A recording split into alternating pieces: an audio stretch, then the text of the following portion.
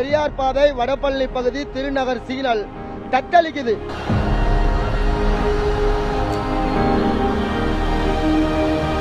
இன்னைக்கு பார்த்தீங்கன்னா ஒரு நாள் மலையிலே இவ்வளோ தண்ணி இருக்கு.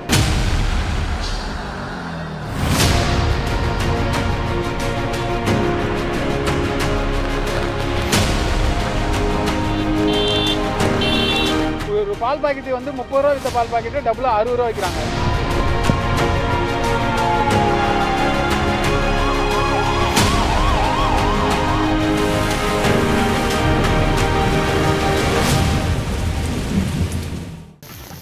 சென்னை வண்ணாரப்பேட்டை ராயபுரம் காசிமேடு தண்டையார்பேட்டை ஆகிய பகுதிகளில் தொடர் மழை பெய்து வருகிறது. பழைய வண்ணாரப்பேட்டை ராஜகோபால் தெரு மற்றும் வண்ணாரப்பேட்டை காவலர் குடியிருப்பு பகுதிகளில் மழைநீர் வடியாமல் தேங்கியுள்ளது. ஆவடி திருமுல்லைவாயில் பட்டாபிராம் திருநின்றவூர் அம்பத்தூர் பூந்தமல்லி திருவேற்காடு குன்றத்தூர் மாங்காடு உள்ளிட்ட பல்வேறு பகுதிகளில் விட்டு விட்டு கனமழை பெய்து வருகிறது. திருவள்ளூர் மாவட்டத்தில் விடிய விடிய பெய்த மழையால் தெருக்களில் தண்ணீர் தேங்கியுள்ளது. கனமழை காரணமாக செங்குன்றம் பகுதியில் ஜிஎன்டி சாலையில் தண்ணீர் தேங்கியுள்ளது. ஜிஎன்டி சாலையில் நெல் லாரிகள் நிறுத்தும் இடத்தில் தண்ணீர் தேங்கியுள்ளதால் வாகன ஓட்டிகள் சிரமத்திற்கு ஆளாகியுள்ளனர். காஞ்சிபுரம் மாவட்டம் ஸ்ரீபெரும்புத்தூர் சுற்றுவட்டார பகுதிகளில் லேசாக பெய்து வந்த மழை தற்போது வேகமெடுத்துள்ளது.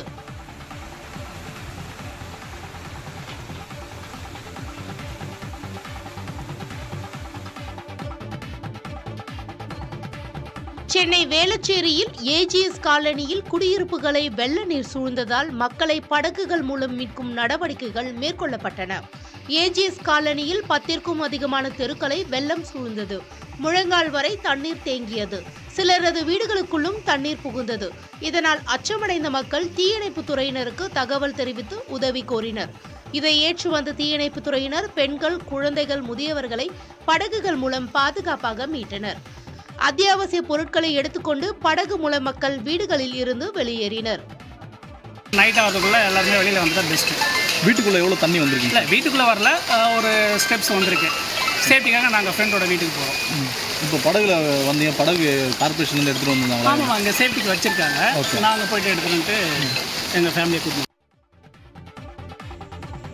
சென்னை கிண்டியை அடுத்த மடுவின்கரை சுற்றுவட்டார பகுதிகளில் முழங்கால் அளவிற்கு மழைநீர் தேங்கி நிற்கிறது. அதே பகுதியைச் சேர்ந்த மசூதி காலனி வண்டிக்காரன் தெரு உள்ளிட்ட சாலைகளில் மழைநீர் குளம் போல் தேங்கி நிற்கிறது. இதனால் இருசக்கர வாகனங்கள் பழுதாகி நின்றுவிடுகிறது. இன்னும் மழைநீர் தேங்கும் என்பதால் பொதுமக்கள் அச்சத்தில் வீட்டிற்குள்ளேயே முடங்கியிருக்கின்றனர். மாநகராட்சி நிர்வாகம் மோட்டார் மூலம் நீரை அப்புறப்படுத்த பொதுமக்கள் வலியுறுத்தி வருகின்றனர். அதேபோல் குரோம்பேட்டை எம்ஐடி மேம்பாலம் கீழ் சர்வீஸ் சாலையில் மழைநீர் குளம் போல் தேங்கி நிற்கிறது. சாலையில் தேங்கி நிற்கும் மழையால் வாகன ஓட்டிகள் ஊர்ந்து செல்கின்றனர். சென்னை புறநகர் பகுதியான ஆவடி அருகே மூன்று கிலோமீட்டர் தூரத்திற்கு மழைநீர் தேங்கியதால் வாகன ஓட்டிகள் பெரும் சிரமத்திற்கு ஆளாகினர். ஆவடி திருமுல்லைவாயில் பட்டாபிராம் திருநின்றவூர் உள்ளிட்ட பகுதிகளில் காலை முதலே விட்டு விட்டு பெய்யும் கனமழை காரணமாக பிரதான சாலைகளில் தண்ணீர் தேங்கியது. திருவள்ளூரில் இருந்து ஆவடி செல்லக்கூடிய சிடிஎச் சாலையில் பட்டாபிராம் மாடர்ன் சிட்டி அருகே மழைநீர் செல்ல வழி இல்லாமல் மூன்று கிலோமீட்டர் தொலைவிற்கு தண்ணீர் தேங்கியது. மழைநீரில் செல்ல முடியாமல் வாகனங்கள் பரிதவிக்கும் நிலை ஏற்பட்டது. கடந்த பருவமழையின் போதும் இந்த சாலையில் மழைநீர் தேங்கி பாதிப்பு ஏற்பட்டது. சென்னை வேளச்சேரி நூறு அடி சாலையில் மழைநீர் குளம் போல் தேங்கியுள்ளதால் வாகன ஓட்டிகள் பெரும் சிரமத்திற்கு ஆளாகினர். வேளச்சேரியில் மழைநீர் வடிகால் பணிகள் நடந்து வரும் நிலையில் அதனை சுற்றியுள்ள இடங்களில் மழைநீர் தேங்கியுள்ளது. வேளச்சேரி நூறு அடி சாலை லட்சுமி நகர் பகுதியில் தண்ணீர் தேங்கியுள்ளதால் சாலையின் மையப்பகுதியில் தடுப்புகளை ஒட்டி வாகன ஓட்டிகள் தங்கள் வாகனங்களை ஓட்டி செல்கிறார்கள். திருப்பத்தூர் மாவட்டம் வாணியம்பாடி சுற்றுவட்டார பகுதிகளில் கனமழை பெய்து வருகிறது. நேற்று இரவு முழுவதும் கனமழை பெய்த நிலையில் காலையில் சற்று ஓய்ந்திருந்தது. ஆனால் மீண்டும் பலத்த மழை பெய்யத் தொடங்கியது.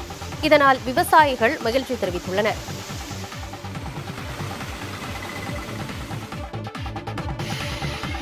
மயிலாடுதுறை மாவட்டத்தில் அதீத கனமழை பெய்யும் என்ற எச்சரிக்கையை தொடர்ந்து கட்டுப்பாட்டு அறை திறக்கப்பட்டுள்ளது.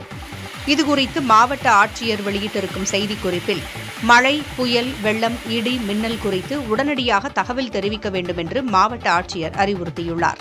கட்டுப்பாட்டு அறை எண் பூஜ்ஜியம் நான்கு மூன்று ஆறு நான்கு இரண்டு இரண்டு இரண்டு ஐந்து எட்டு எட்டு மற்றும் கட்டணமில்லா தொலைபேசி எண் பூஜ்ஜியம் நான்கு மூன்று ஆறு நான்கு ஒன்று பூஜ்ஜியம் ஏழு ஏழு என்ற எண்ணிலும் தகவல் தெரிவிக்கலாம் என்றும் தெரிவித்துள்ளார்.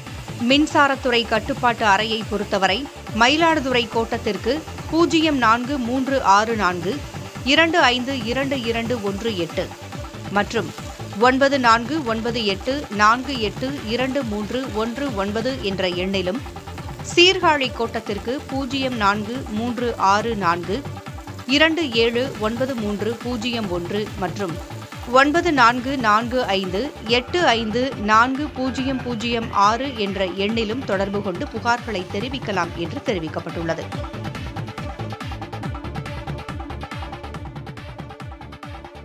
பெரம்பலூர் அருகே கவுண்டர்பாளையத்தில் பெய்த கனமழை காரணமாக ஊராட்சி பள்ளி வளாகத்தில் மழைநீருடன் கழிவுநீர் தேங்கியிருப்பதால் மாணவர்கள் அவதியடைந்து வருகின்றனர். பள்ளியின் தலைமை ஆசிரியர் இந்திரா மழைக்காலம் தொடங்குவதற்கு முன்னதாக கழிவுநீர் கால்வாயின் அடைப்புகளை சீரமைக்குமாறு ஊராட்சி நிர்வாகத்திடம் இரண்டு மாதங்களாக மனு அளித்து வந்துள்ளார். ஆனால் தற்போது வரை எந்த நடவடிக்கையும் எடுக்கப்படாததால் மாணவர்களுக்கு தொற்று நோய் பரவும் அபாயம் ஏற்பட்டுள்ளது. இதுகுறித்து மலையாளப்பட்டி ஊராட்சி மன்ற தலைவரிடம் கேட்டபோது மழைநீரை அகற்றவும் சாலையில் உள்ள கழிவுநீர் கால்வாயை சீரமைக்கவும் விரைந்து நடவடிக்கை எடுக்கப்படும் என தெரிவித்துள்ளார். தமிழ்நாட்டில் மழை பாதிப்புகளை எதிர்கொள்ள அனைத்து சாத்தியமான வழிகளிலும் தமிழ்நாடு அரசு முயன்று வருவதாக ஆளுநர் ஆர் என் ரவி பாராட்டு தெரிவித்துள்ளார். சென்னை உள்பட தமிழ்நாட்டின் பல்வேறு பகுதிகளிலும் கனமழை பொழிந்து வருகிறது. மழை தொடர்பான பாதிப்புகளை தடுக்கவும் சீரமைக்கவும் தமிழ்நாடு அரசு தீவிரம் காட்டி வருகிறது.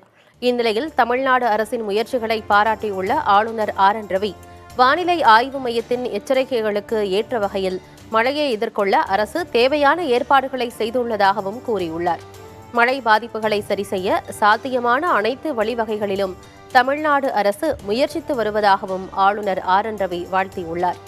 மழை பாதிப்புகளை தமிழ்நாடு அரசு முறையாக கையாளும் என நம்புவதாகவும் ஆளுநர் நம்பிக்கை தெரிவித்துள்ளார்.